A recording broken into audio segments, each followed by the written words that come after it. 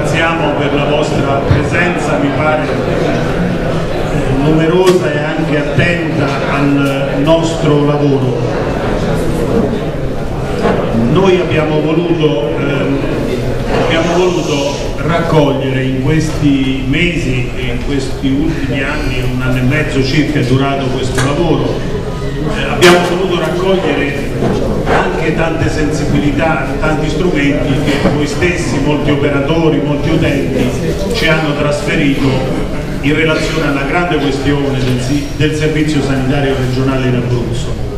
Una questione che, come vi è noto, è un punto cruciale nella storia passata e futura, secondo noi, di questa regione, nel suo modo di modernizzare la prospettiva futura, di relazionarsi con altre regioni in parte che stanno conducendo in parte come noi dei piani di rientro, dei piani di risanamento e stanno trovando l'assetto verso l'Italia migliore, verso l'Europa e dall'altro lato appunto come prospettiva anche di correlato dell'economia di questa regione in ragione del fatto che più pesa e più pesa con qualità scadenti il servizio sanitario regionale, meno la regione può svolgere una funzione motrice rispetto agli assetti sociali ed economici. E in questo quadro, proprio perché abbiamo colto la, criticità degli anni scorsi abbiamo voluto mettere insieme un gruppo di persone che io ringrazio tutte e poi citerò eh, ci sarà una relazione anche eh, tecnica più di merito rispetto a, al lavoro svolto da questo gruppo per eh, diciamo, diretta relazione a voi di ulteriori valutazioni che sono state fatte in questo nostro lavoro.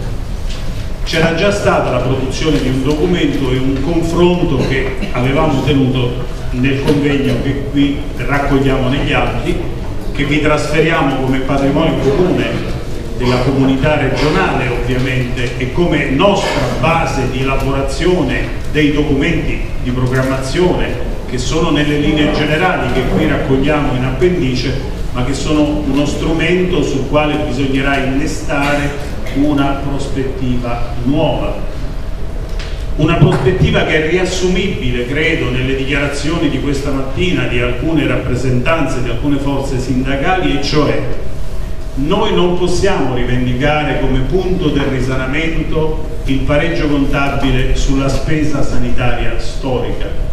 Noi dobbiamo produrre un servizio sanitario innovativo che abbia gli equilibri a pareggio e che abbia la fortissima e piena integrazione tra prevenzione, medicina del territorio, medicina ospedaliera, segmento pubblico e segmento privato, politiche sanitarie e politiche sociali. E tutto questo deve avvenire in un rapporto con le risorse intere della regione che lasci libera una quantità di risorse utili a determinare l'intervento della regione in altri settori che sono i fattori dell'economia e della vita sociale regionale. Questo è il quadro di riferimento che noi nostro, nei nostri documenti vi consegniamo e in una elaborazione in appendice curata per il gruppo da Roberto Marzetti cerchiamo di mostrarvi come l'evoluzione a pareggio del sistema sanitario regionale è un'evoluzione statica dal punto di vista dei servizi resi, e cioè dei livelli essenziali di assistenza, con dati e tabelle che vi trasferiamo, dati ufficiali, quindi incontrovertibili, noi vi mostriamo che sì, abbiamo cosiddetto sanato il, bilancio, il pareggio di bilancio ma non abbiamo assolutamente fatto evolvere i livelli essenziali di assistenza. Dunque la prospettiva è di un nuovo piano sanitario che guardi all'integrazione anche sociale, la prossima legislatura si aprirà con una criticità grave.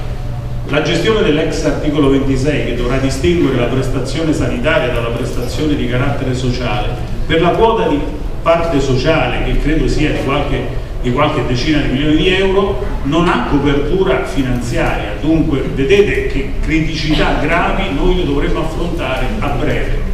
C'è stata da parte del commissario un'ulteriore proroga a scavallare le elezioni regionali ma il 30 di giugno la proroga scade ancora e chi governerà a quella data dovrà immediatamente cercare soluzione a questa grande criticità. Solo per dirvi appunto quali sono i punti irrisolti e sono anche di valenza finanziaria gravosa per l'intero sistema regionale. Dunque questo è stato il lavoro, un lavoro che è continuato nel tempo ed è stato condotto da, eh, dalle persone che adesso io vi richiamo perché credo che sia stato un punto d'onore in un periodo in cui la, la politica e l'elaborazione di programmatica è molto regolata dalla funzione informativa del giorno dopo, cioè dalla funzione di immagine e dalla funzione esteriore, io credo che sia eh, doveroso ecco, eh, dar merito a persone che hanno voluto dar seguito per, per, nel tempo a questo lavoro.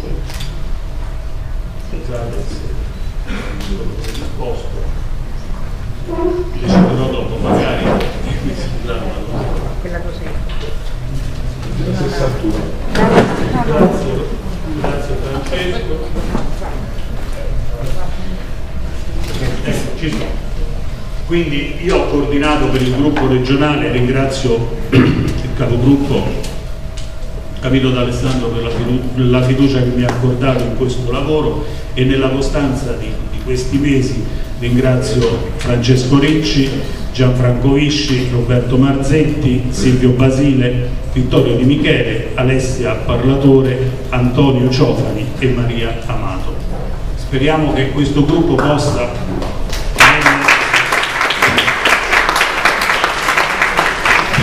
questo gruppo possa rafforzarsi di tante competenze, si possa costituire in Abruzzo eh, nel prossimo futuro, dopo le elezioni regionali, che speriamo profigue nel risultato per il centro-sinistra e il Partito Democratico, noi speriamo che si possa davvero costituire un forum regionale per le politiche sociosanitarie che darebbe forza, supporto, trasparenza alla gestione delle politiche sanitarie e sia anche un antidoto ad evitare le criticità che negli anni passati abbiamo dovuto vivere e quindi con questo auspicio io apro i lavori dando la parola al capogruppo Camillo D'Alessandro.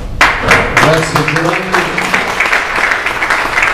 veramente complimenti, grazie a coloro che ci hanno dato una mano, grazie a voi che siete presenti, grazie a quelli con i quali che Giovanni in questi mesi, in questi anni ha incontrato. Saluto chiaramente gli organi di informazione che sono presenti e lo voglio dire in apertura, in premessa, poi nel dettaglio tecnico parlerà chi ha sicuramente maggiore competenza. Il primo giorno che noi ci siamo insediati in Consiglio regionale sapevamo benissimo che prima o poi questi 60 mesi sarebbero conclusi, salvo essere poi diventati 66 per un'operazione ingegneristica elettorale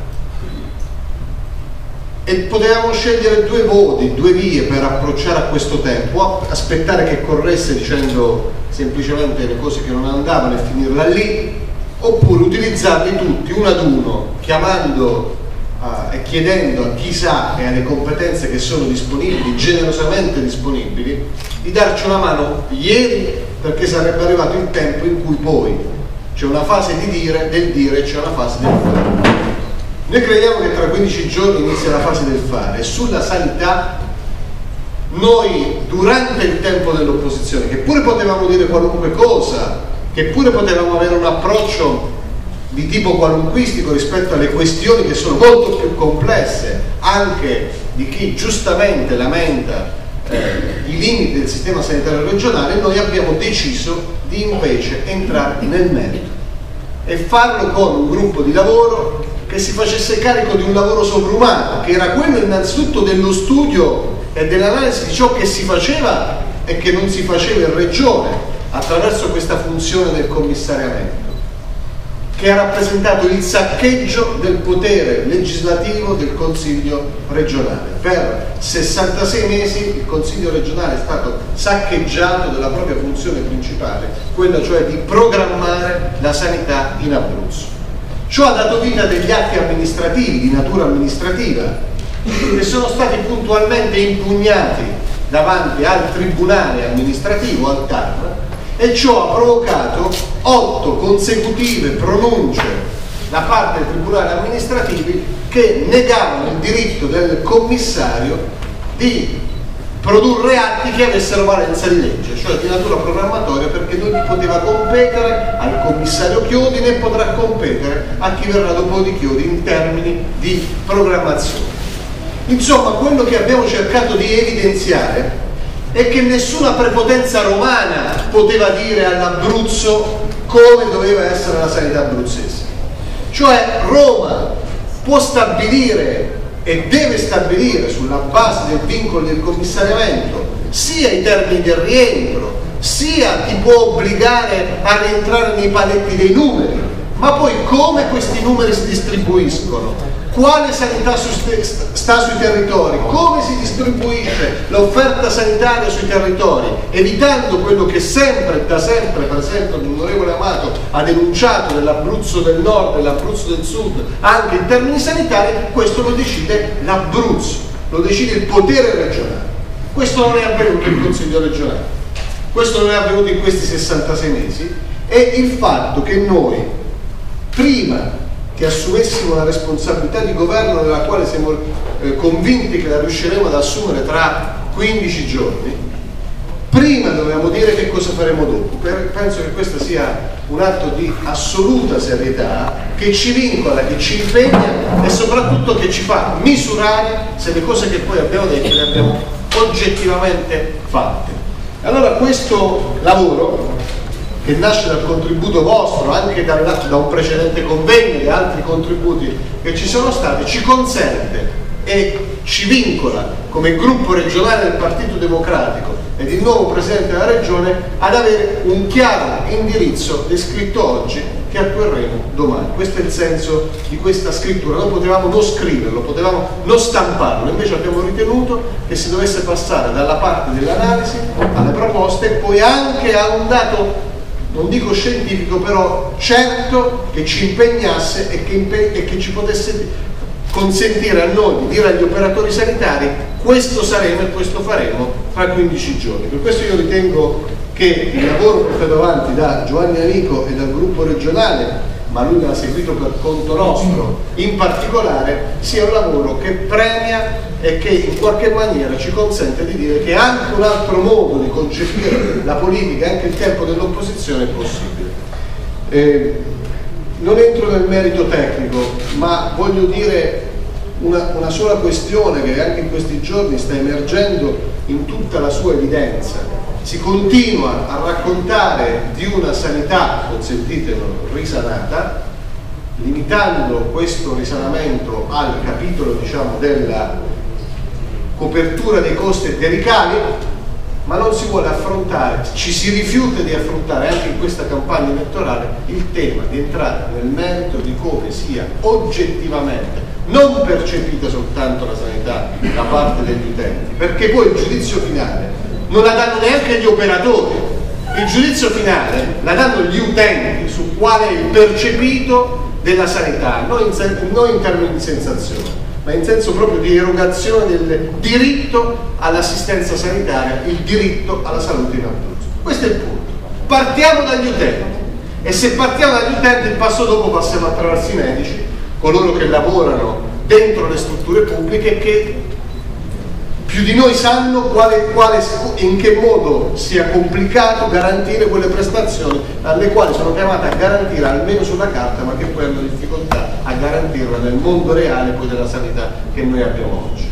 E se noi facciamo questo ragionamento, la percezione degli utenti, ciò che viene effettivamente erogato, come erogato, i tempi di erogazione delle prestazioni sanitarie, dopo 66 mesi di commissariamento il giudizio non può essere che impietoso.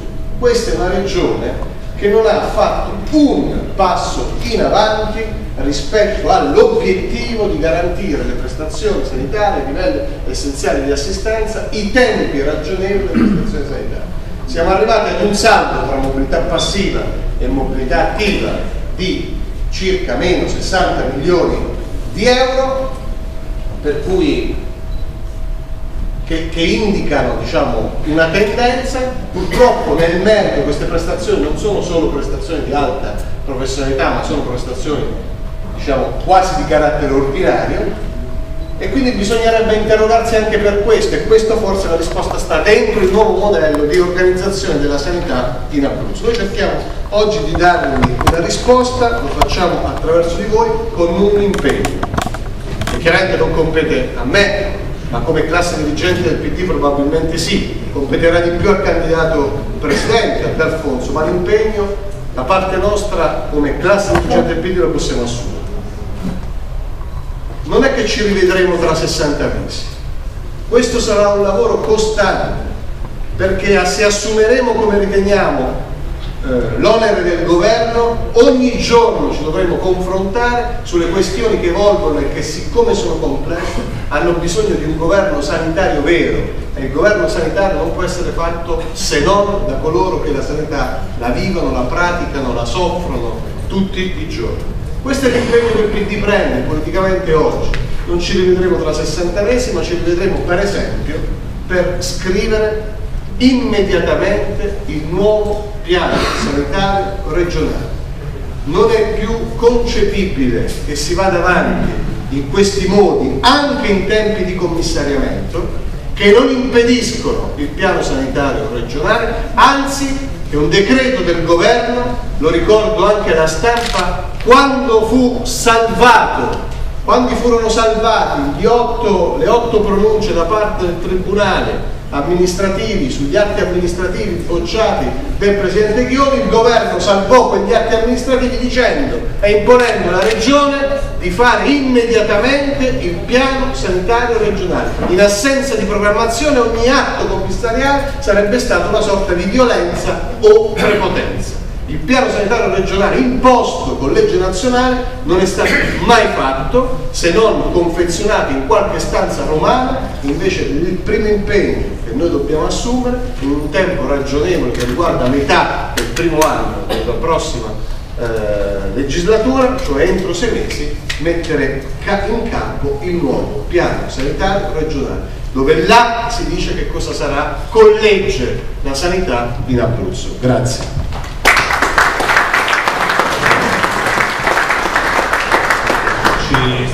Ci raggiungeranno Luciano D'Alfonso nel corso di questo nostro incontro e l'onorevole Legnini che è partito da Roma per raggiungerci.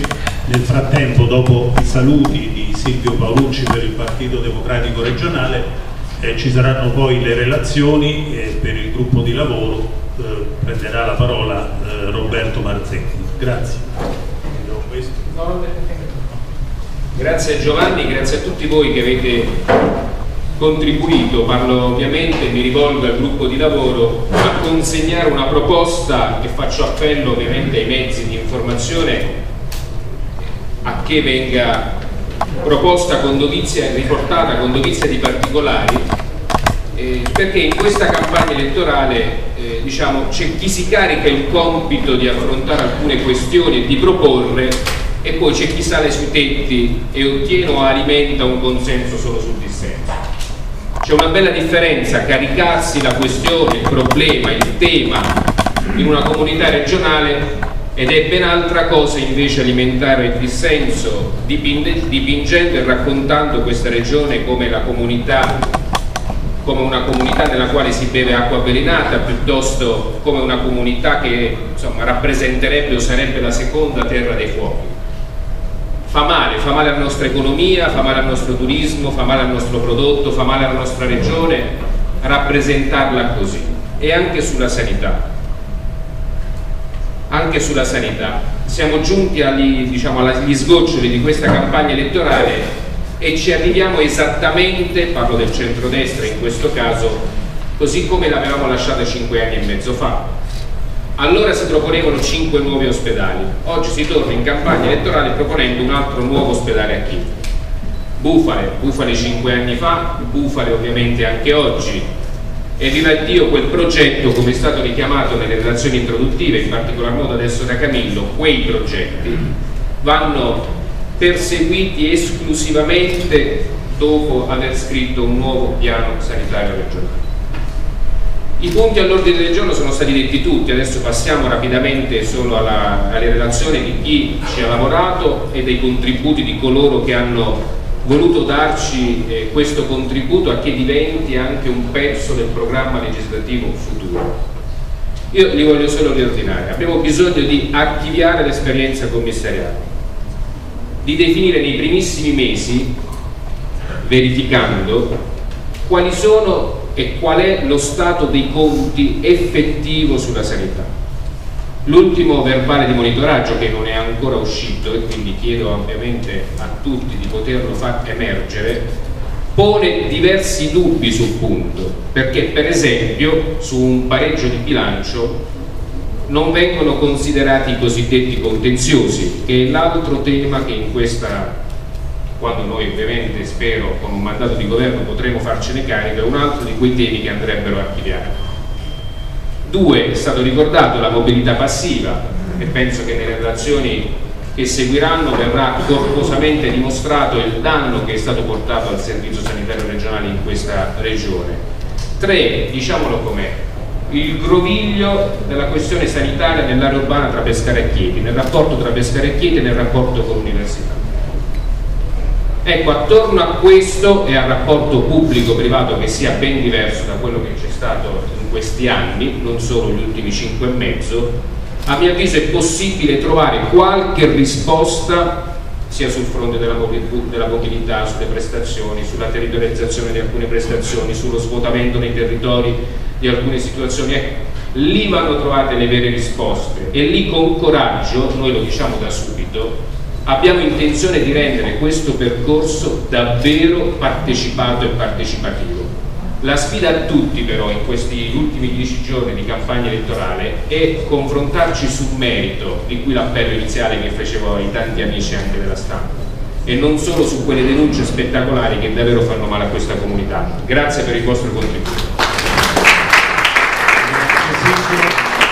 La parola per un saluto alla consigliera Marinella Scrocco ci deve poi lasciare e seguirà Maria Amato, l'onorevole Maria Amato per una prima relazione introduttiva. Grazie. Grazie Giovanni, io cercherò di limitare il mio, il mio piccolo intervento in sette minuti. Intanto voglio ringraziare Giovanni per aver portato avanti il gruppo, il gruppo sanità in questi cinque anni, voglio ringraziare tutti coloro che hanno partecipato al gruppo e vi voglio ringraziare oggi. Con molti di voi ho avuto diversi confronti, ho avuto modo di confrontarmi sulla situazione degli ospedali, siamo entrati con il gruppo negli ospedali, nei reparti per cercare in qualche modo di monitorare l'andamento della sanità al di là dei vuoti proclami del, del nostro presidente, del nostro, del presidente della nostra regione Chiodi ho registrato senz'altro la vostra preoccupazione, la vostra difficoltà nell'operare in un campo così delicato come la tutela della salute pubblica e naturalmente la sanità. Eh, avete assistito a tagli di ogni tipo eh, senza guardare, senza vedere nessun tipo di eh, riorganizzazione. Le vostre giuste preoccupazioni sono state anche le mie, anche eh, de, quelle del gruppo eh, PD, che più volte, questo l'ho detto anche Camillo prima, ha cercato la condivisione dei decreti, ma mai i decreti sono stati portati né in commissione né in assise. Eh, perché tutto è stato deciso direttamente dal, dal, dal commissario, quindi eh, dal presidente Chiodi in nome del commissariamento. In questi giorni, come l'onorevole Amato dirà e come il sottosegretario Legnini potranno confermare, si è alimentato molto il dibattito sul decreto appena votato alla presidenza del Consiglio, sui tagli sì o i tagli no rispetto al trasferimento eh, dei finanziamenti alle regioni. Guardate, prima di creare eh, inutili allarmismi che ci possono stare in questo momento, io credo che sia importante fare chiarezza e mettere in ordine le carte, come si dice. L'assenza di tagli alla sanità pubblica eh, nella manovra di fresca approvazione di per sé non portano né la risoluzione del problema eh, della salute né quelli della spesa. Su entrambe le questioni un invece modo per poter risparmiare e fare salute e far sì che ci sia la salute sui nostri territori è naturalmente un buon sistema di prevenzione che deve essere il primo punto del nostro ordine del giorno dal 26 maggio. Eh, un buon sistema di, parlano tutti eh, del buon sistema di prevenzione, ma in effetti purtroppo eh, solo il 5% della spesa programmata è quella dedicata alla prevenzione, per cui non si sfruttano né molto di, molto di meno, meno del 5%, quindi insomma stiamo veramente al, al, al ribasso a ribasso, quindi non si sfruttano in questo modo né le potenzialità delle, delle strutture né le professionalità che certo ci sono dedicate alla prevenzione. Per esempio l'adesione agli screening continua a restare bassa, soprattutto in Abruzzo, visto che per esempio per risparmiare addirittura Chiodi li ha riattivati solamente nell'ultimo periodo della campagna elettorale. Quindi tutti parlano di prevenzione ma in effetti non si fa e non si fa soprattutto in Abruzzo. Un rilancio quindi dell'attività di prevenzione essere, può essere considerata strategica eh, facendo sì che ci sia un ruolo fondamentale nella riduzione dei fattori di rischio di salute e quindi alla lunga anche delle spese della cura sanitaria, della, delle cure sanitarie. Eh, salutiamo il nostro candidato alla presidenza.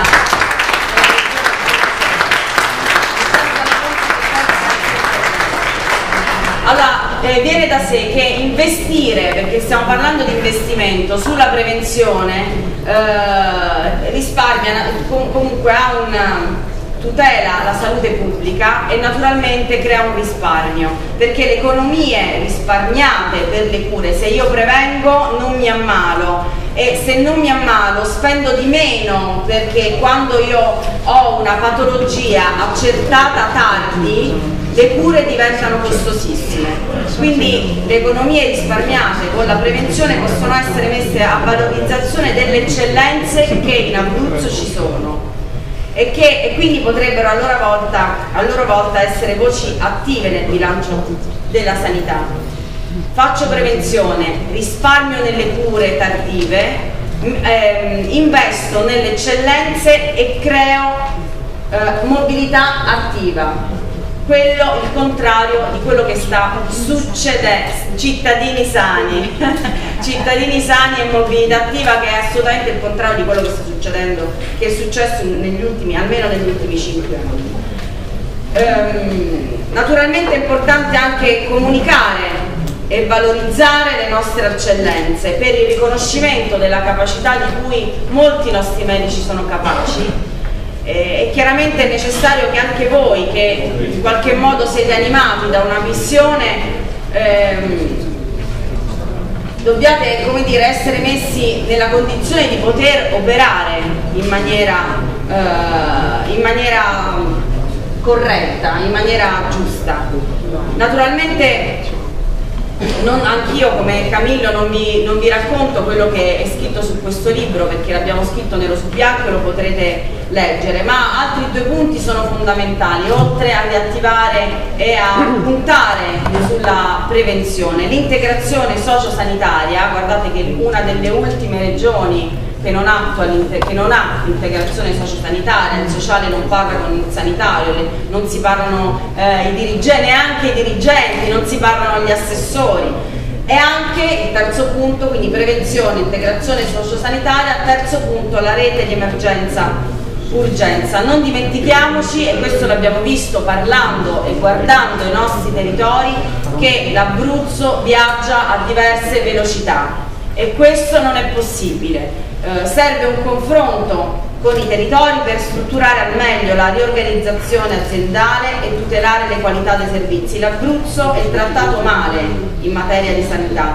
In alcuni si offre, perché si riesce ad offrire una sanità a misura del paziente, in altre zone purtroppo il tutto è pericolosamente assente. Allora bisogna come dire, risincronizzarsi e far sì che tutti i cittadini abruzzesi, a prescindere dal territorio in cui abitano, siano curati allo stesso modo, siano presi in carico allo stesso modo. Eh, da anni e parlo dell'ultimo punto, cioè della rete emergenza-urgenza, Chiodi dice che sta lavorando a questa rete emergenza-urgenza, io non so se voi ne abbiate avuto conferma, ma non mi sembra che ci sia traccia di questo suo lavoro. So per certo che ci sono territori sia nel Pietino, nella Marsica che nel Pescarese che rischiano di vedersi chiudere dove eh, già non sono stati chiusi sia i distretti sanitari che gli ospedali. E questo mh, può essere anche giusto ma bisogna andare al secondo tempo di questo progetto e cioè la riconversione cioè come dire eh, poco male se ci fosse un trasporto adeguato. Eh, qualcuno, qualche medico sempre nelle mie nel mio confronto con, con, chi lavora nella sanità mi diceva che nel Massachusetts, che è un, una, è una regione molto più grande dell'Abruzzo, c'è solo un pronto soccorso, ma ci sono almeno 30 elicotteri che portano i malati in questo unico pronto soccorso. Quindi come dire, possiamo anche tagliare, ma bisogna riconvertire e certamente creare una rete adeguata affinché eh, possa l'obiettivo essere raggiunto. Ehm, guardate, il diritto alla salute deve essere tutelato in tutta la nazione e quindi anche su tutto il territorio regionale. Occorre costruire un sistema più equilibrato che funzioni, che garantisca la sicurezza dei pazienti e che venga percepita l'attenzione ai loro bisogni. Io credo che il nostro progetto, che ripeto l'abbiamo messo nero su bianco, è, è sicuramente un progetto ambizioso, ma credo che sia anche un progetto realizzabile con l'aiuto e l'impegno di tutti, con l'impegno di chi si candida a governare i processi di ristrutturazione del nostro sistema sanitario, che è malato e non guarito. Eh, che, che ne dicano i 6x3 che abbiamo visto su Pescara e su tante, parti, tante città della nostra regione noi definiamo il sistema sanitario regionale un paziente grave e tutti quanti noi, decisori politici e professionisti della sanità, dobbiamo impegnarci per guarirlo perché nostre, il nostro problema non sono le competenze, eh, le abbiamo, la politica le ha, perché come dice tante volte Giovanni D'Amico, anche la politica studia ci sono casi in cui la politica studia, le avete noi perché abbiamo, ringraziando Dio e ringraziando voi stessi, abbiamo professionisti seri, preparati e presenti che hanno a cuore eh, il loro nobile e dedicato lavoro a servizio della comunità, ora è necessario fare un lavoro affinché le competenze della politica, le competenze dei professionisti vengano messe insieme per eh, poterle esercitare e farle esercitare. Eh, io penso che questa di oggi non sia assolutamente un punto di, conclusione del nostro lavoro, ma sia un punto di partenza, un punto di partenza che avrà il suo slancio vero e proprio dal 26 maggio. Io so che voi, molti di voi hanno avuto molta pazienza in questi cinque anni, eh, ma sicuramente questa pazienza sarà eh, ripagata perché dal 26 maggio noi ci porceremo insieme a voi le maniche e potremmo, far, ri, potremmo rilanciare anche la sanità in Abruzzo. Grazie,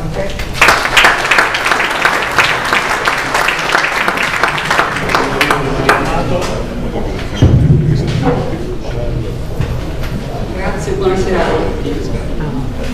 Ripresentiamo l'opera finita oggi per cui Giovanni ha ringraziato già tutti quelli che hanno collaborato. Io vorrei spendere due parole per la struttura regionale del Partito Democratico e soprattutto per Daria Pilato che ha curato tutto, tutto il, il, lavoro per rendere fruibile un...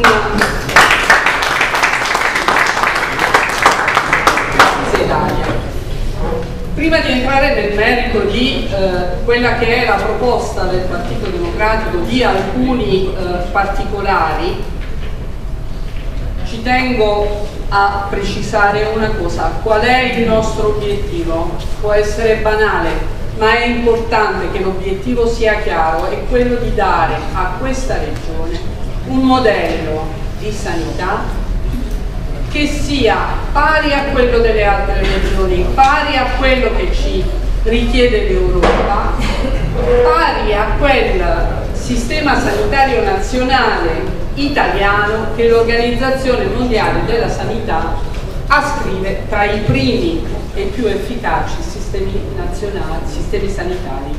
Non un brutto modello del sistema sanitario, un modello vero che risponda alle aspettative delle persone.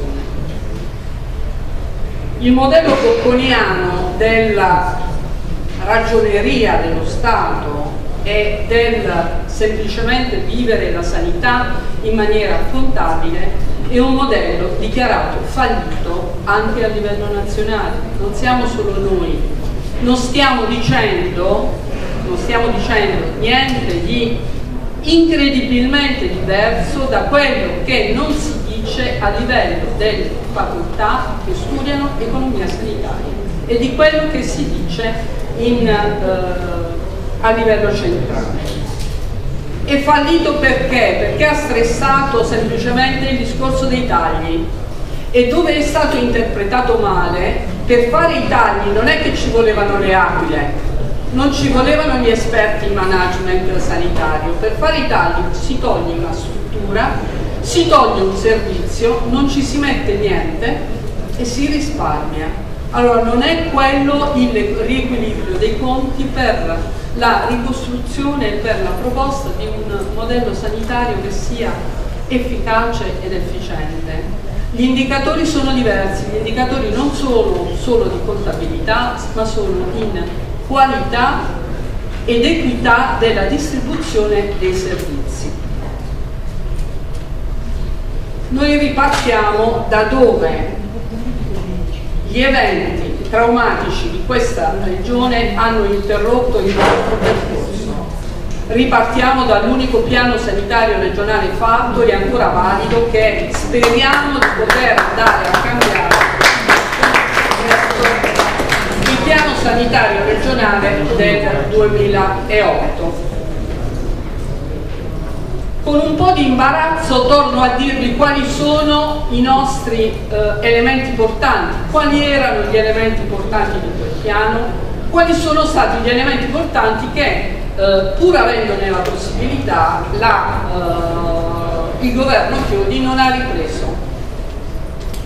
Dopo, anzi contemporaneamente alla rimodulazione della rete sanitaria va il potenziamento della medicina territoriale. Il Partito Democratico in questo documento ripropone questo argomento come prioritario. La medicina territoriale che è quella che cura la cronicità, organizza la continuità assistenziale, mette pace tra le popolazioni, abbassa il livello di ansia, consente una sanità capillare che sia di buon livello e rispondente alle esigenze della quotidianità delle persone. Noi siamo una regione con un elevato indice di invecchiamento e un indice di vecchiaia superiori alla norma nelle aree interne.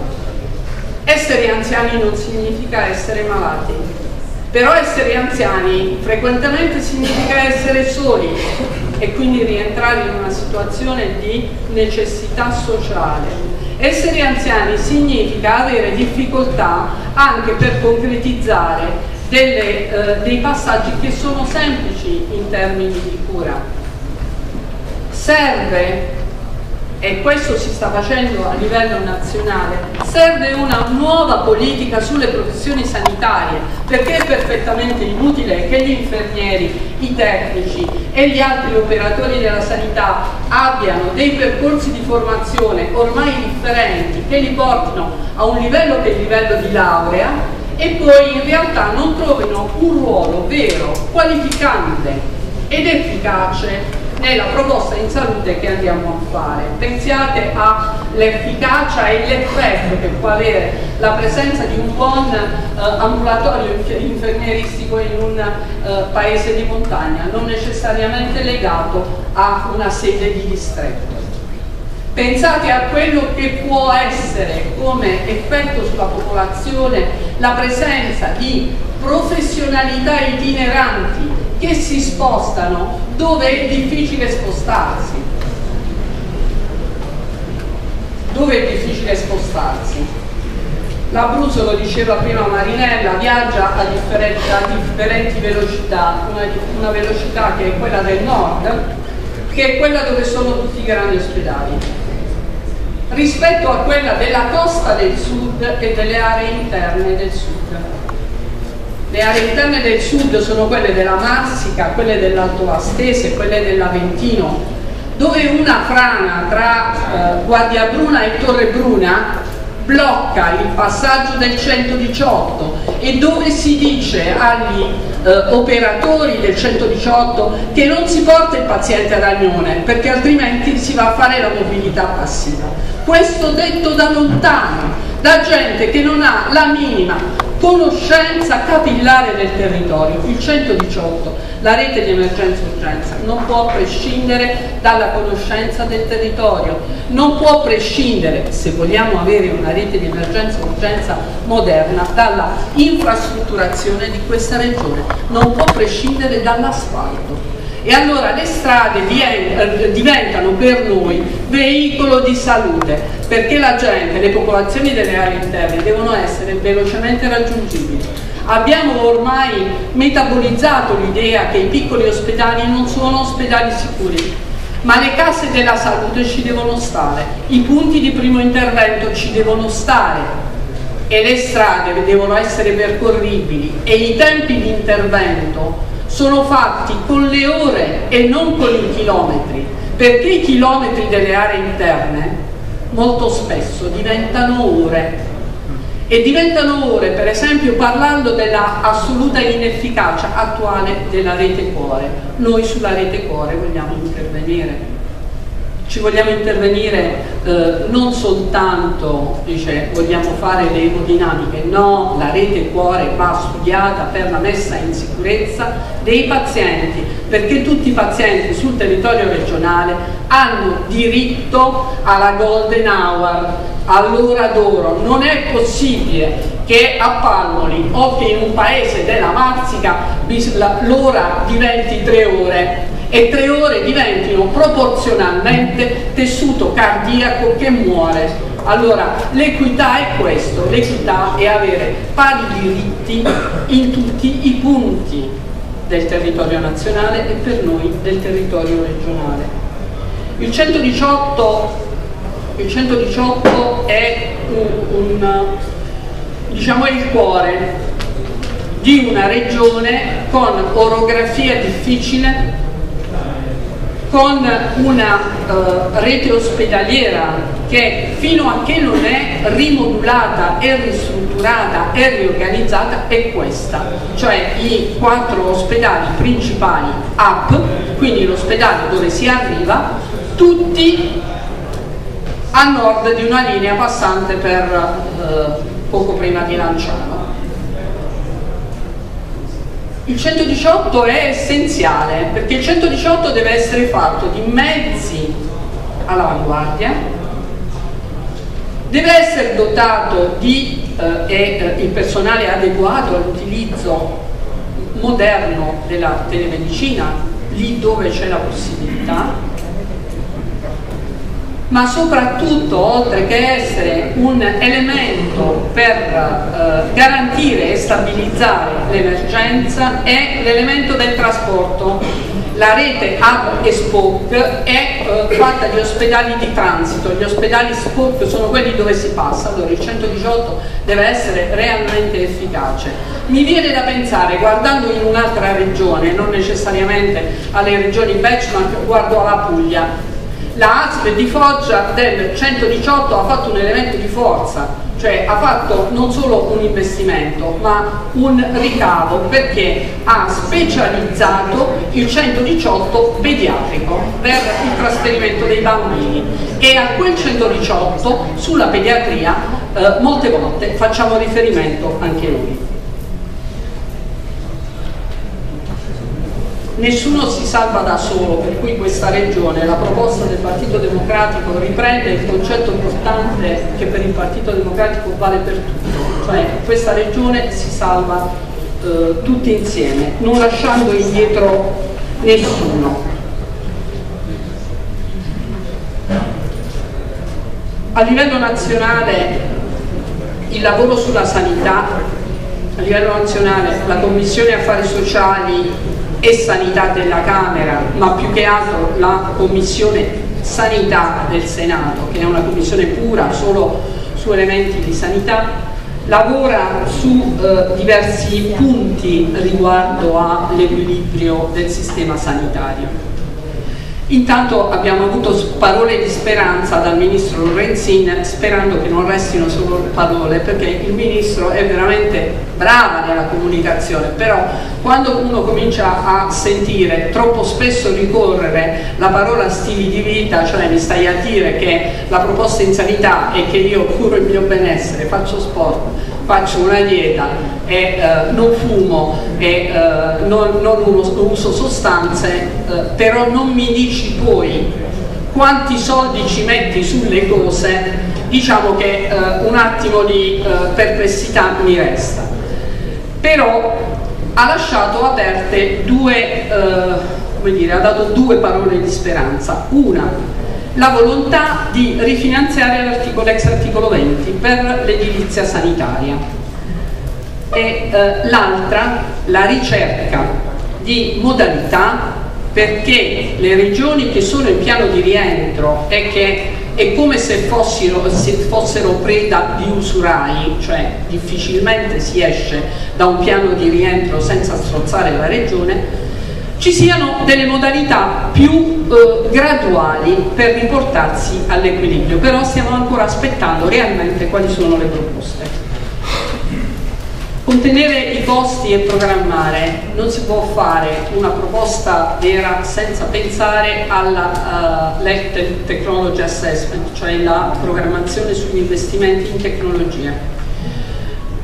Non posso non pensare che noi siamo stati la prima regione nel 2006 ad avanzare delle proposte e a avviare eh, delle procedure per dotare questa regione di, PET, di due PET TAC e siamo rimasti l'unica regione che l'impianto realmente non ce l'ha, ci sta un impianto mobile e l'utilizzo della PET TAC non è adesso a distanza di quasi dieci anni qualcosa di un elemento raro. La PET-TAC rientra tranquillamente nei controlli regolari nel tempo dei pazienti oncologici.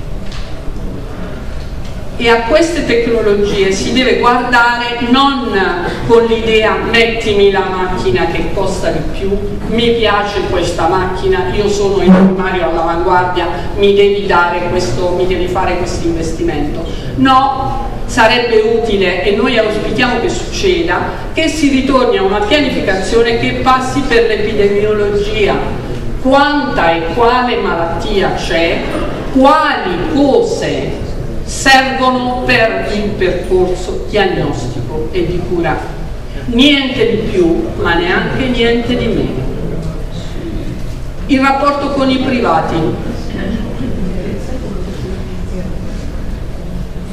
Il controllo tra pubblico e privato si auspica da uh, studi che sono stati fatti a livello nazionale e a livello europeo, si sta valutando l'utilizzo a livello nazionale di una uh, sorta di authority indipendente così com'è uh, in Gran Bretagna, così com'è già negli Stati Uniti d'America. Quello che riguarda la nostra regione, il rapporto col privato, è un rapporto di integrazione, non è un rapporto di concorrenza pubblico-privato. Il rapporto integrativo è già caratterizzato e già facilitato dalla presenza di una legge, e anche quella ci pregiamo di averla fatta noi, sull'accreditamento. L'integrazione del privato possiamo eh, rilevare con una certa chiarezza in Abruzzo è un'integrazione da queste parti di qualità, per cui anche in questo senso eh, siamo, siamo fortunati.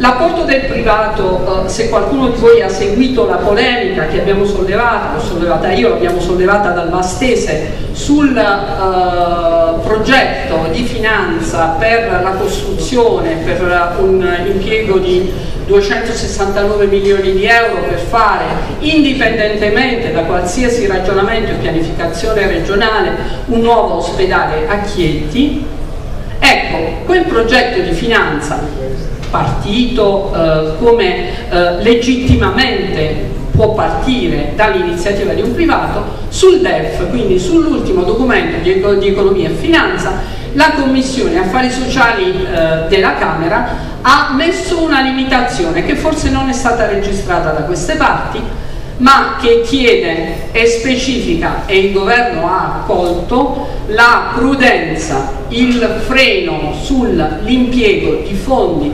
privati nella edilizia sanitaria con il vincolo della restituzione in servizi per 30-40 anni. Questa cosa avviene non da un preconcetto, ma da tutto quello che è di negativo è stato rilevato da due regioni che sono avanti sul progetto di finanza nella costruzione degli ospedali, che sono Veneto e Lombardia. La medicina del territorio. La medicina del territorio è quella che abbiamo nel cuore, è quella che deve essere potenziata perché altrimenti non si può ristrutturare alcuna rete ospedaliera. È quella che vuole, prima ancora che la responsabilizzazione ancora una volta dei medici di medicina generale, la sburocratizzazione dei medici di medicina generale, che tornino a essere responsabili della salute, che siano dei veri e propri manager della salute individuale del paziente, che lo seguano il loro percorso di cura, ma che vengano anche gratificati se si prendono queste responsabilità, responsabilità che sono nella scelta delle cure, se devono essere, perché devono essere i responsabili dell'appropriatezza, se devono andare contro tutti quelli che sono i rischi della responsabilità, dello scegliere di non difendersi come professionisti, cioè di non fare tanti esami, di non fare delle cure in più, di non fare tante visite specialistiche, bene, la responsabilità e la responsabilizzazione ha un costo, per cui va rivista, e questa è la revisione a livello nazionale, la figura del medico di medicina generale nella sua funzione e nel suo ruolo il ruolo dei cittadini nella promozione della salute. Non si può parlare di stili di vita se non si tirano dentro i cittadini a parlare della propria salute. In Italia non si fa informazione sanitaria, la, la, cultura sanitaria si fa su internet, vi invito a ricordare la devastante situazione di stamina, vi invito a ricordare gli effetti che si rinnovano della cura di Bella. Vi invito a pensare ai malati oncologici trattati con l'aloe vera. Si trova su internet. La eh, dissuasione della campagna di vaccinazioni che sta mettendo in crisi i rapporti tra le famiglie, i genitori e i pediatri i pediatri che sono una specialistica in via di estinzione e questa cosa è stata rilevata e segnalata giustamente eh, nell'ambito dell'audizione eh, eh, sulla compatibilità e l'efficacia del sistema sanitario nazionale. La visione del Partito Democratico è una missione che parte, cioè che, che, interessa il partito a livello nazionale, a livello regionale, a livello locale e il singolo specialista che appartiene a questa parte che vive la sua professione e che vede la salute come ricchezza. La salute non è un costo, la salute è una ricchezza perché la cura delle malattie pesa sul bilancio dello Stato, se uno la vuole vedere come un contabile. La salute è una ricchezza, perché un paese in salute è un paese che può fare, che può produrre, che può pensare, è un paese vivace. E allora con l'idea che eh, la salute è eh, un bene prezioso, ritorno sul discorso degli screening oncologici che faceva Marinella. In particolare quello della uh, mammella, del cancro di mammella. Sono felice di vedere la uh, collega, la dottoressa Muzzi, che è responsabile del progetto screening per la SLE di Chieti, diversi radiologi, il professor Masciò, il dottor Sparvieri. Il progetto dello screening della mammella è in molte regioni e nella nostra un copione, cioè una copia dello screening come costi e come platea, dello screen, della, della, della, lo screening nazionale della legge Veronesi.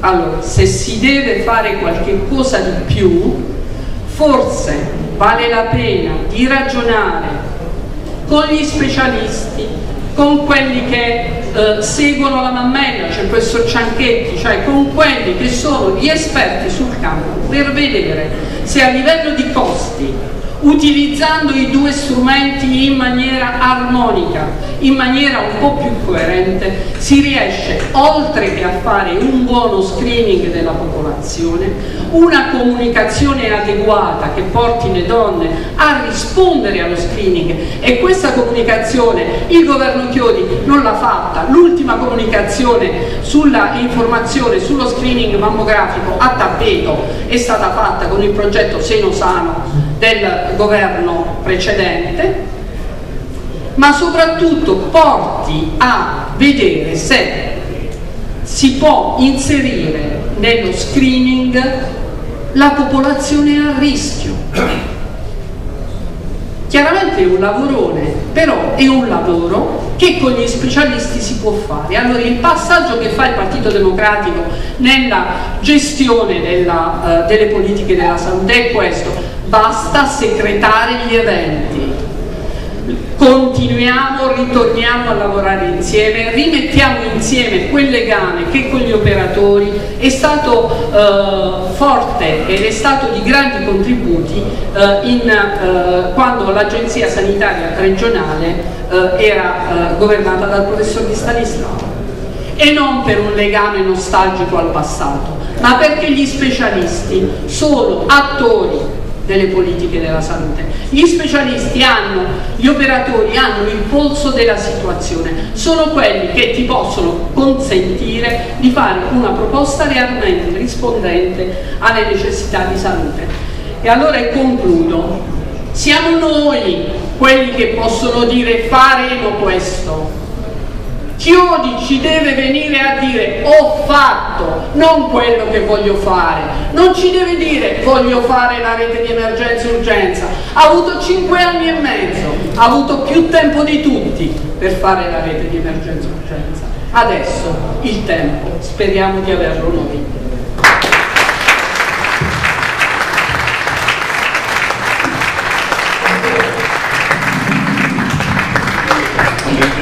L'intervento, la relazione di Roberto Marzetti, poi apriamo eh, una discussione con interventi di ascolto e successivamente daremo la parola a Luciano D'Alfonso eh, e a Giovanni Legnini. Nel frattempo se Luciano D'Alfonso vuole partecipare al tavolo. meglio i parlanti.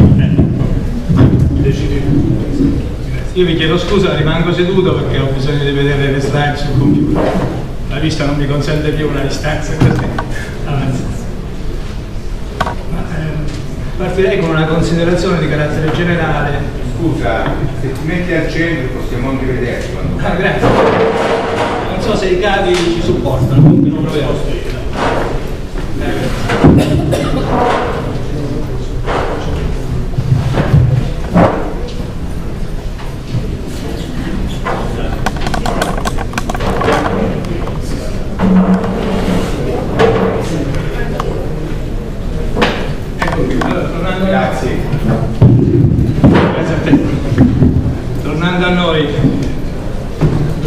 dire che lo stato di arretratezza della regione Abruzzo è a radici longitudinali. Ho rotto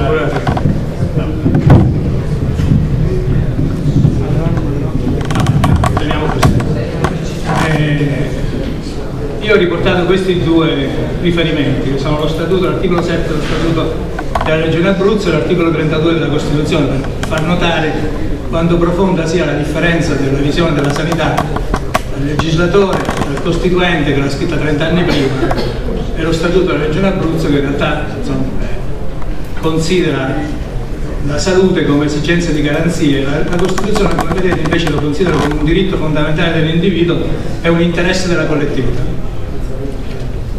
Per cui forse diciamo, un ragionamento più profondo va fatto nel rivedere anche il modo come lo pariamo. Il problema di fondo però è che insomma, le cose non nascono così all'improvviso. Dopo il trattato di Maastricht, come sapete il 7 febbraio 1992, i governi che si sono succeduti hanno incominciato a cercare di porre elementi di riferimento, elementi normativi che costringessero il sistema di governo della sanità a tener conto che avevamo contratto delle obbligazioni nei confronti dell'Europa che imponevano la restrizione di costi. E così è uscita la legge 502, successivamente la legge 517 che riguarda l'università, per inciso molti sanno che questa legge in Abruzzo non si applica, non è stata mai applicata e, e, poi arriviamo al decreto legislativo 229 del 99 che invece impone regole molto più stringenti rispetto al governo della sanità. Eh, sono passati tanti anni, però questo non ha prodotto nulla. Finalmente poi il governo, perlomeno il Parlamento, decide che la sanità diventa materia concorrente tra lo Stato e le regioni. Quindi c'è una chiamata in causa delle regioni nel governo del sistema che avrebbe dovuto imporre alle regioni un ripensamento sui livelli organizzativi e soprattutto diciamo, le regioni avevano alcuni anni di tempo, fino al 2004, per adeguare l'organizzazione e fare in modo che fossero compatibili non solo da un punto di vista economico, ma anche come assetto sanitario complessivo. Noi abbiamo cercato di fare uno studio, abbiamo cercato di farlo in modo il più attendibile possibile e ci siamo letti questi documenti, che sono documenti ufficiali alcuni della, della direzione regionale sanità, altri sono dell'agenzia regionale sanitaria, altri ancora del ministero e quindi le nostre fonti sono, come diceva del resto Camillo prima, sono fonti oggettivi. E da ultimo i verbali di monitoraggio, che sono quelli che poi ci riguardano un po' più da vicino, perché al di là della storia dell'accaduto, i verbali di monitoraggio, come vedremo, rappresentano un futuro immediato che ricadrà sulla nuova giunta anche con impegni onerosi come del resto si diceva prima. Però io partirei da prima nel valutare il primo elemento che viene agitato in questi giorni del cosiddetto pareggio di bilancio. Questo è il rapporto reale fra entrate e uscite per, per la quota sanitaria. Il pareggio di bilancio qui non c'è. Le uscite superano le entrate, le due linee non si incontrano mai e anzi come vedete sotto la linea delle ascisse c'è la differenza che è tutta negativa per carità, un pareggio c'è stato c'è stato nel 2011 dovuto a questi eventi dovuto ad alcune sopravvenienze attive che non hanno nulla a che vedere con la sanità che sono state considerate come entrate utili per ripianare il bilancio quel picco così alto dell'ALS di Teramo io non ho avuto modo di scusate, non ho avuto modo di approfondire ma stranamente sono 47 milioni di euro, molto simili diciamo, all'importo che le assicurazioni hanno risarcito per i danni del terrore. Vabbè, ma sarà una circostanza, non voglio come dire. Il problema vero è che tutto questo diciamo, avviene cosiddetto di pareggio di bilancio, come è stato già detto più volte, avviene contraendo in modo drammatico l'offerta sanitaria primo fra tutte, ne parlava poco fa l'onorevole Amato, la contrazione degli screening. Credo che questo grafico faccia capire bene cosa succede nel 2010. Nel 2010 gli screening della mammella, della cervice uterina e del colon retto subiscono un drastico ridimensionamento. Mi domando chi si assumerà la responsabilità morale delle patologie che non sono state individuate in questi tre anni per pazienti che forse allora potevano essere curati agevolmente io spero la fortuna gli dia comunque la possibilità di farlo. Vabbè, ma comunque questo. Questo dato, come vedremo, di un 2010 che rappresenta lo spostamento di risorse dall'attività sanitaria al pareggio di bilancio è ricorrente nelle prossime, nelle prossime cose che troveremo. La mobilità passiva, qualcuno l'ha già accennato, che succede con la mobilità passiva? Le, I cittadini abruzzesi non hanno trovato riferimenti nel nostro ordinamento sanitario e quindi si sono rivolti altrove. Ma che cosa succede per davvero? In realtà è erroneo parlare di un saldo negativo soltanto di mobilità passiva, perché la mobilità passiva dell'Abruzzo è di 170 milioni di euro, coperti in parte dalla mobilità attiva per 102 milioni. Ma qualunque organizzazione seria sanitaria o meno, che ha una uscita di questo tipo, si pone il problema di come modificare la propria organizzazione per intercettare quella domanda. E qui nulla si è fatto. Il 40% di questa mobilità riguarda l'AZ di Teramo, e non perché è stato chiuso Santomero, perché l'AZ di Teramo ha un livello organizzativo del tutto inadeguato. Voi sapete che questa mobilità si rivolge quasi esclusivamente nelle varie. Il 40% a sua volta di questa mobilità è costituita da richieste di interventi per il disturbo del sistema muscoloscheletrico, dell'apparato cardiocircolatorio, dell'occhio, del sistema nervoso e così via. Quindi siamo di fronte non a una richiesta di prestazione di elevatissima qualità che non può trovare riscontro nella nostra organizzazione, ma a cose ordinarie su cui un governo che ha un minimo di impegno e di serietà cerca di porre freno. Tra l'altro su queste specialità noi abbiamo forfiori di professionisti, non è vero che non ce ne abbiamo. E va bene. La mobilità passiva però passa da 35.600 ricoveri del 2006 a 39.333 del 2012. Come vedete il grafico è in crescita e quindi soltanto nel 2012 c'è una contrazione, ma questo mi pare che nel 2013 non accade. L'altro elemento di riferimento, l'onorevole Amato poco fa, è la rete dell'emergenza urgenza e i progetti obiettivi. Che fine hanno fatto i soldi che sono scritti in quel primo libro? La regione Emilia-Romagna, la regione Emilia-Romagna, grazie, bastava dirmelo, infatti Loretta subito me l'ha detto, io obbedisco sempre alle donne e comincio da memoria. Ecco. La, la regione Emilia-Romagna stanziò 5 milioni di euro subito dopo il terremoto per ricostituire una rete del 118 in Abruzzo, con sede all'Aquila ovviamente, la centrale operativa eh, e non è stato mai realizzato. Ora noi abbiamo un sistema di 118 che è del tutto inadeguato perché lo spiegava bene l'onorevole Amato su come funziona soprattutto nelle aree marginali, su quella parcellizzazione per alze che non consente, c'è l'esempio eclatante, oltre che dei interpretatori marginali, di quello che i pescaresi forse mi capiscono meglio, di quello che si sente male a San Buceto e deve essere portato a chiedere non a pescare che sta a un chilometro di distanza. Abbiamo un sistema di risoccorso che ci costa 300.000 euro al mese, ogni volo in uscita costa 2.000 euro, i nostri elicotteri, non i nostri elicotteri, elicotteri della società che ci fornisce questo servizio non atterrano sull'autostrada, non hanno il volo notturno e quindi non bisogna farsi male sull'autostrada né tantomeno di notte. L'Emilia Romagna tutto questo l'ha risolto perché i loro sistemi di intervento sono molto più efficaci con piccoli elicotteri che atterrano sulle strade normali. I nostri hanno difficoltà a atterrare nelle zone di montagna dove ovviamente il territorio è impervio e così via. Eppure c'era un finanziamento, è rimasto inascoltato, inalterato. Però di questo ne parlo con calore perché avevo partecipato alle riunioni col segretario della giunta regionale Emilia Romagna che ci tra l'altro non dovevamo fare nulla perché loro ci portavano il loro sistema, quindi dovevamo solo copiare. Nella scuola eravamo pure bravi, non è che non sappiamo C'è un altro elemento importante, dopo gli screening sulle patologie oncologiche sono stati bloccati anche i progetti obiettivi, sempre nel 2010, l'anno tragico della nostra realtà. Nel 2010 non riusciamo ad avere il saldo del 30% sui progetti obiettivi 2010 perché le alze non sono in grado di rendicontarli. Io non credo sia una difficoltà tecnica, di solito non si rendi conto ciò che non si fa. Nel 2011 invece proprio i soldi sono stati distratti e trasferiti altrove. Li ho elencati questi progetti per far capire che non parliamo di cose che sono marginali rappresentano proprio la diversa concezione della sanità, proprio quello che noi vorremmo tenere sotto monitoraggio, perché è lì che si esercita un ruolo reale che non è la sola ospedalizzazione.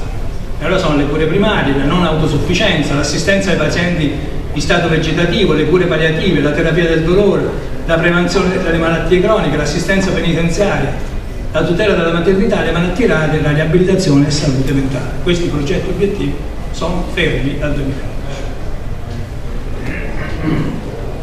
E andiamo adesso un po' alle cose più recenti che io mi dispiace per Luciano, ma da presidente di ricadranno addosso tutte le cose che Chiodi non ha fatto, ma io credo che tu abbia la forza. Io per quella canderò tanto aiuto. credo che tu abbia la forza e le capacità per affrontare.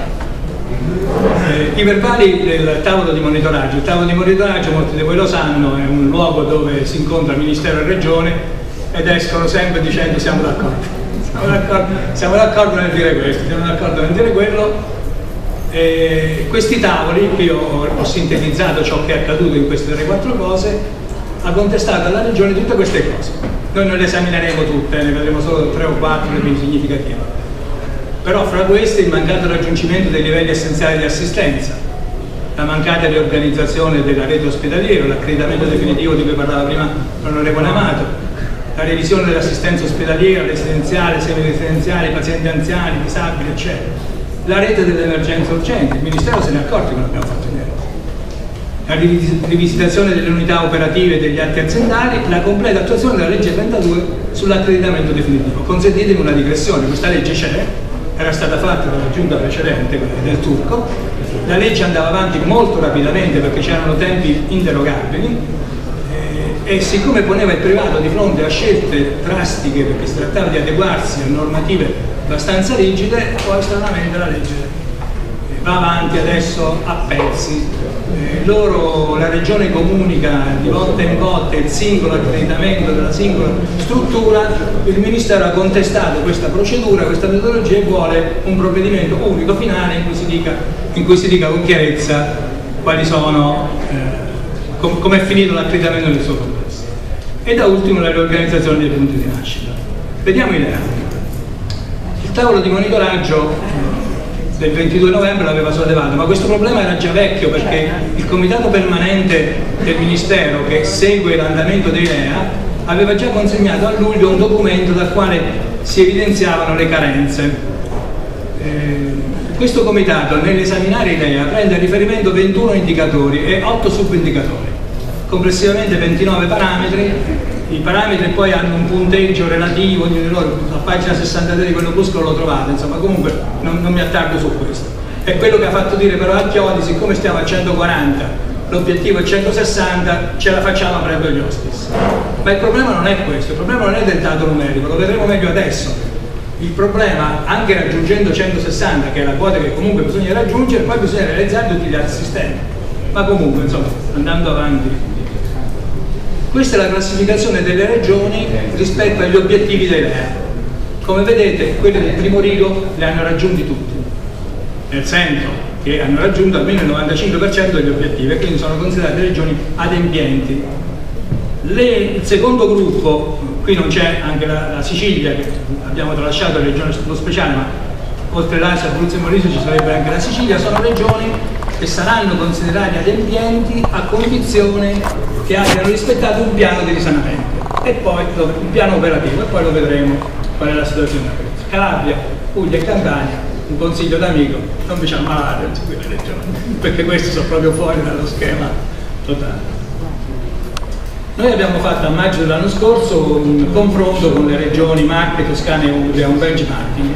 Allora abbiamo pensato di riportare qui la situazione dei LEA in queste tre regioni, in queste quattro regioni. E come vedete la nostra è sempre l'ultima.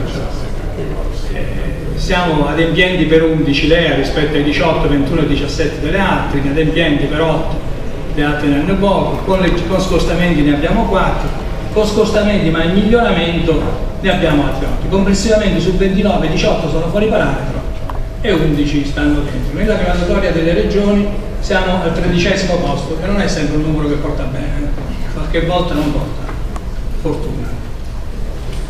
Ma in concreto, quali sono le idee che noi non rispettiamo? Qui mi allaccio direttamente a quello che diceva fa. Gli 11 sono quelli, prevenzione, 4 distrettuali e 4 ospedalieri. Gli 8 inadempienti sono 6 per la prevenzione, di cui due per i vaccini, uno per lo screening, due per la previdenza animali e uno sul controllo degli alimenti. L'hospice, come sapete è una struttura di ricovero per anziani, per eh, malati terminali, uno che riguarda pazienti maggiori di 65 anni con frattura di ferro. Poi tre sono, hanno scostamenti, due per la veterinaria, uno nei luoghi di lavoro e previdenza sanità animale. Sei sono scostamenti ma in miglioramento, due riguardano gli anziani, uno la farmaceutica, uno la specialistica, uno i parti cesari e l'altro il target di pronto soccorso. Una piccola annotazione, vorrei che fosse chiaro che il target di pronto soccorso è una media, la nostra media supera di gran lunga la media nazionale, ma non è questo dato mediano uguale su tutto il territorio della regione. Chi ha la fortuna di vivere a Pescara, a 2-3 km dal pronto soccorso, ha speranze di successo nelle, nelle problematiche che ha di gran lunga superiore al resto della popolazione che vive nei paesi sperduti. Voi sapete che in montagna un terzo della nostra popolazione vive su metà del territorio disseminato in montagna e in aree marginali quindi questo dato mediano non spiega tutto. Ma insomma comunque sia siamo comunque fuori, dal, comunque fuori dalla media nazionale. L'altra contestazione che, la, che, il tavolo di che i tavoli di monitoraggio fanno è sulla rete ospedaliera. Qui non ho voluto riportare tanto le, le strutture, sappiamo che ce ne abbiamo tante, ce ne abbiamo forse troppo, qualcuno ne propone di nuovo. Peraltro sul nuovo ospedale di Chieti io mi sono fatto un dato, un dato soltanto giornalistico, però lo giornale scriveva l'ospedale costa 200 milioni, la società che propone il project financing chiede di gestire i servizi per 4 milioni di euro per 30 anni e che fanno solo 120. No che gestire tutti i servizi per 30 anni più 4 milioni di euro. Ah, ecco. ah, ecco. I rotti sono 269 milioni, cioè 69 milioni sono per arrotondamento. Anche all'Aquila avevano fatto una proposta di questo genere, ma non l'abbiamo accolto. Va bene. Quindi cosa volevo fare evidenziare in questa slide? Che la, come vedete fino al 2008 non credo sia stato un caso, fino al 2008 c'è una forte contrazione dei posti letto. Ne scendono eh, circa mille insomma, di posti letto nella struttura regionale, poi c'è un andamento decrescente, però questo andamento decrescente che ci porta oggi eh, ad altre, una riduzione di altri 500 posti, insomma lo segnalo come dato, in realtà come vedete la sanità privata, che è la linea in basso, quella verde, subisce una, una diminuzione del tutto relativa rispetto a un obiettivo. Comunque quello che va segnalato da questo punto di vista è che mentre siamo ancora sopra per quanto riguarda i posti letto ospedalieri ordinari, siamo di gran lunga sotto, siamo a 5,4 rispetto a 10 per quanto riguarda i posti letto per anziani. Ora, siccome noi abbiamo una popolazione che invecchia, per di più abbiamo una media nazionale, una media superiore a quella nazionale, un minimo di attenzione a far sì che questo dato cogliesse diciamo, le esigenze della nostra collettività, forse qualcuno lo doveva fare.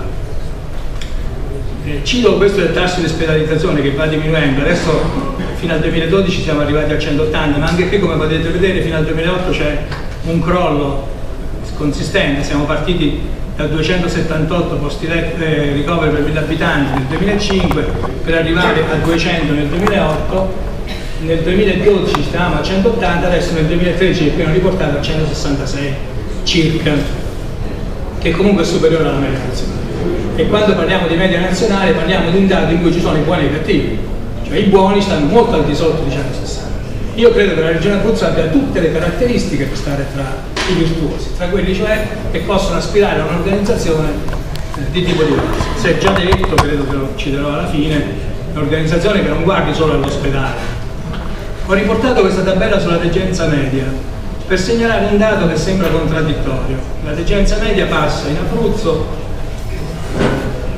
passa in Abruzzo dal 2005 al 2012 da, 7, da, da 6,9 a 7,3 giorni.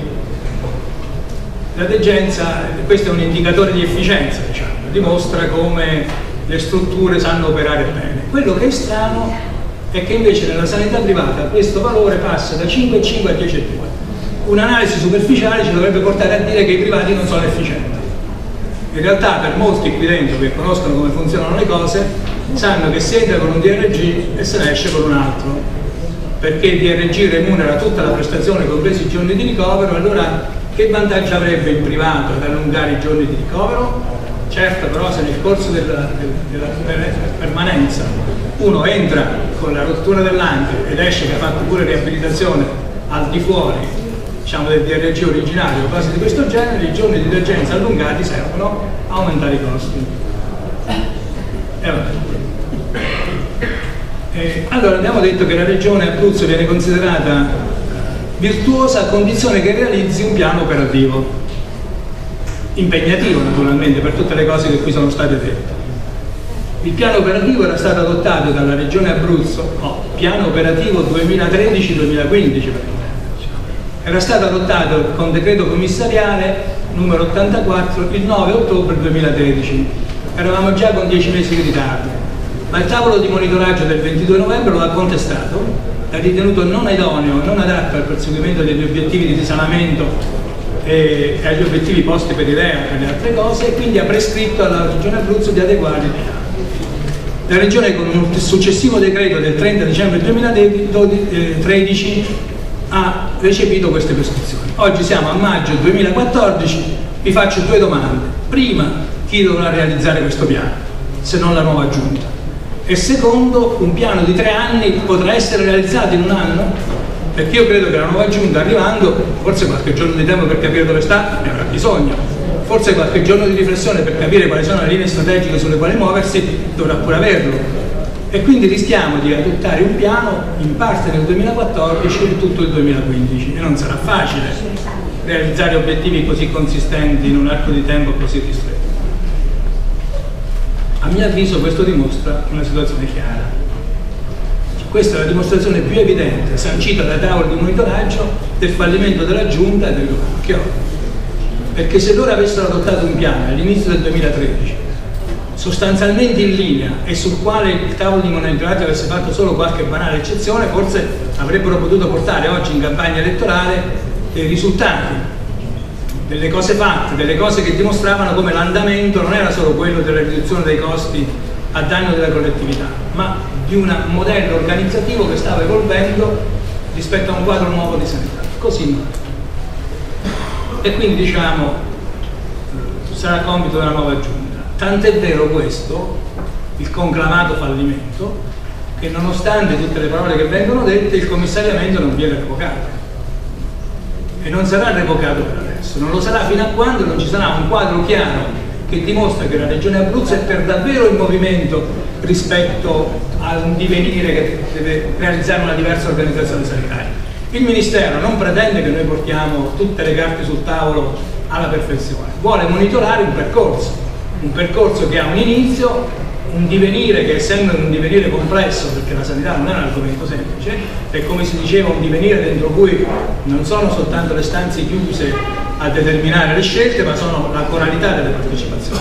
Anch'io richiamo il lavoro fatto da Francesco Di Stanislao perché era un lavoro vero, tra l'altro mi ha insegnato molte cose e tra queste non nascondo il fatto che le, le, i gruppi di lavoro che lui aveva individuato con gli specialisti era frutto di approfondimenti reali, di gente che operava nelle strutture sanitarie e che portava quindi un sapere molto utile a una diversa organizzazione. E, e quindi non siamo in condizioni di revocare il commissariamento.